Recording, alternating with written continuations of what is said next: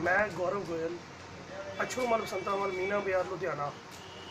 ਸਮੂਹ ਦੇਸ਼ ਵਾਸੀਆਂ ਨੂੰ ਦੀਵਾਲੀ ਦੀਆਂ ਲੱਖ ਲੱਖ ਵਧਾਈਆਂ ਦਿੰਦਾ ਹਾਂ ਤੇ ਇੱਕ ਜ਼ਰੂਰੀ ਮੈਸੇਜ ਵੀ ਦੇਣਾ ਚਾਹੁੰਦਾ ਹਾਂ ਕਿ ਚਾਈਨਾ ਦੀ ਵਸਤਾਂ ਨੂੰ ਖਰੀਦਣਾ ਬੰਦ ਕੀਤਾ ਜਾਵੇ ਤੇ ਦੇ ਆਪਣੇ ਦੇਸ਼ ਦੀ ਇੰਡਸਟਰੀ ਨੂੰ ਤਰੱਕੀ ਦੇ ਰਾਹ ਵੱਲ ਮੋੜਿਆ ਜਾਵੇ। ਜੈ ਹਿੰਦ।